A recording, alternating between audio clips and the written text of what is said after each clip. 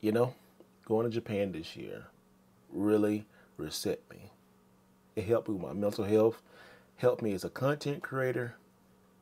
It did so much for me. I'm so happy to bring you this final video from this year of Japan. I'm so happy to bring you on my last videos I shot in Japan and also the pickups at the end. Just going back and thinking about Japan, mind boggling. I went, stayed two weeks. I got to reconnect with my old ship. I got to do a lot of video game hunting, a lot of great food. It was just such, such a great time. Got to see my best friend on the last video, which this video connects to that. So if you missed it, make sure you go back and watch it. Or make sure you watch the whole Japanese playlist, guys. I got, I went so many places, did so many things. If you have missed it, this is your first time on the channel, make sure you go back and check it out. Now, today we're going to Nakano Broadway. This place is like a indoor mall, has so many different places to shop and buy things. We're gonna visit some video game stores. Then we're gonna come back and we're gonna show you what I picked up. So let's get to my last Japanese video for this year at Nakano Broadway. Take a look. My homeboy Mario had to get on the train to get all the way back. About three hours away, but we are here in a different part of Tokyo looking for games. This is Nakano Broadway. I was suggested to come here, so let's see if I can find something.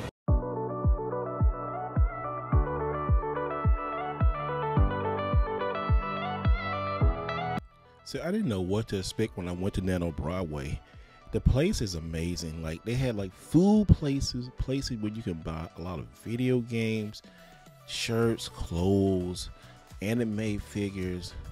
And I first thing I asked, I said, "Where are the video games?" And they pointed me to here, and I was like, "All right, this right here. It's not video games. These are video game machines. You can win prizes and stuff." Well, I said, "You know what? Let me just see here what I can find." I didn't play anything, but it just amazes me when I see these people in Japan love this. But I had to find video games, and guess what? I found a place. This is Galaxy in Nakano Broadway. But the video games here, guys, is look at these prices. They want top dollar for some of these games and I just went inside to say, okay, let me see, can I find any kind of deals? A lot of things here are super expensive, almost like super potato expensive. But I digress. It was cool to see a lot of great PlayStation 2 games. I was shocked to see a lot of the NES games here.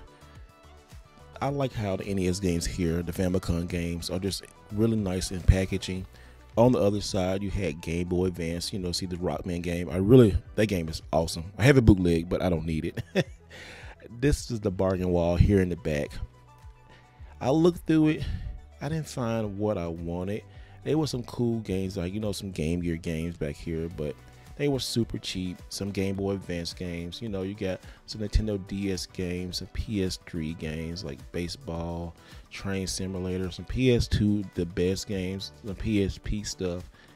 You know, you can find something, but I really didn't want anything. You know, 3DS games back here, which Nintendo 3DS games in Japan are not region free, so you need a Japanese Nintendo 3DS.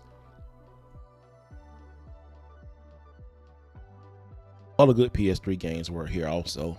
I didn't buy anything, but it's really interesting to see what they had.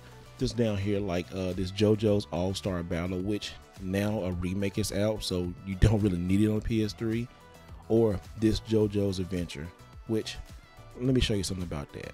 So that last JoJo's Bizarre Adventure game, I actually have it on the PS4. So if you missed it, check this game out on the PS4. You can get it. It's region free. It plays, and this one is in English a lot of Sega Saturn, a lot of Super CD games. Guys, they're still expensive.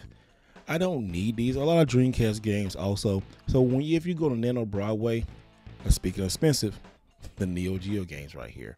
You might want to buy some, you might not, but it's just cool to see that they have this still here. Retro gaming in Japan is alive and well, and some places, guys, it's super expensive. Like wow, even if it's tax free. Okay, that store was a little expensive, but there are other stores here.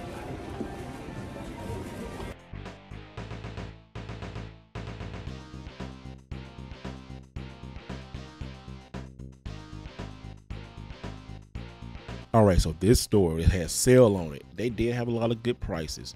They had a lot of great Nintendo like exclusive stuff. Like you see that Mario Award from Club Nintendo, amazing.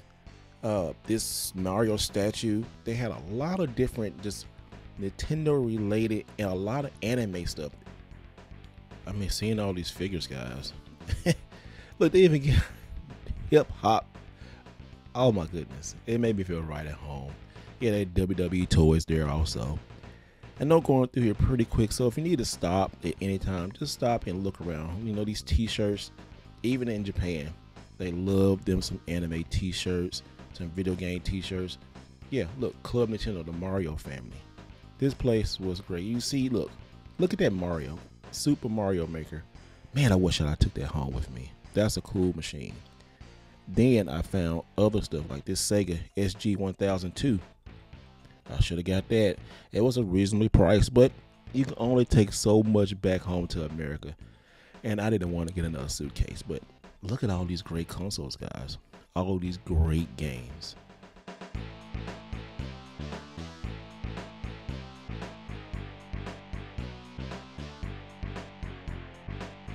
Super Famicom, if you like that, this place has a lot of great secondhand and hidden gem Famicom games like this Tiny Toon Adventures. Oh, so good game, guys. Over here, they had a lot of 3DS, Nintendo DS games that were pretty cheap. A lot of uh, Nintendo 64, a lot of PS Vita, PSP. Down here at the bottom, I like maybe I might get some of this stuff. I might, I don't know. You'll see at the end of the video did I get this or not, but it's it's a lot of good stuff in here. Gradius Deluxe Pack. All right. We got some choice select games in here.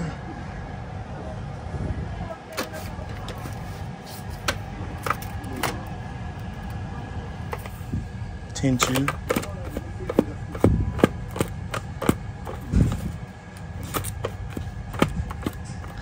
Nothing that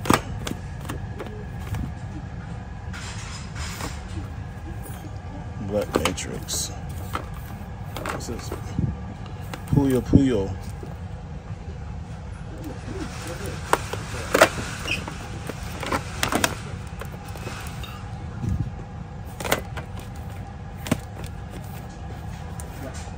Rangers, y'all.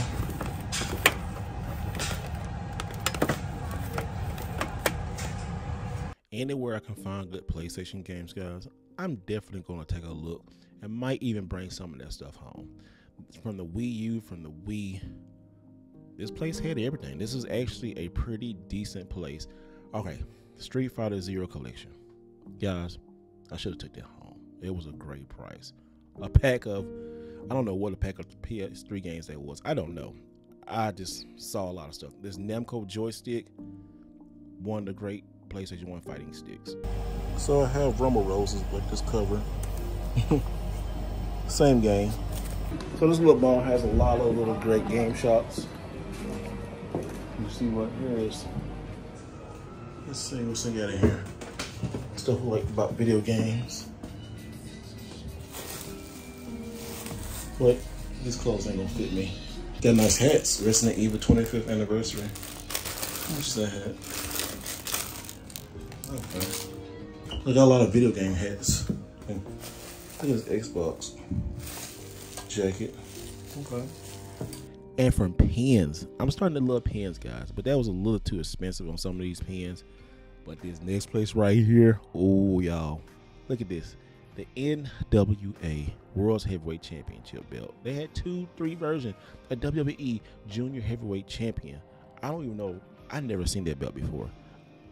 They had wrestling stuff everywhere in this store.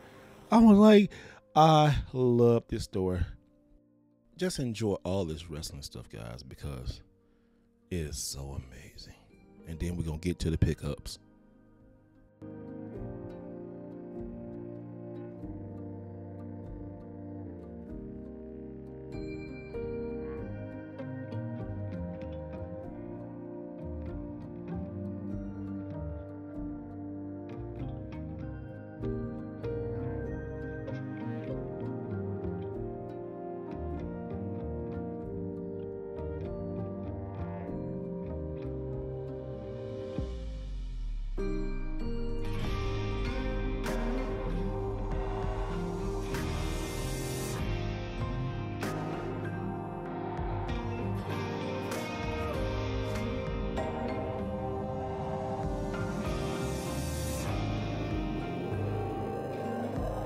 So here are my Nakano Broadway pickups, we got Unjammer Lammy on the PlayStation 1.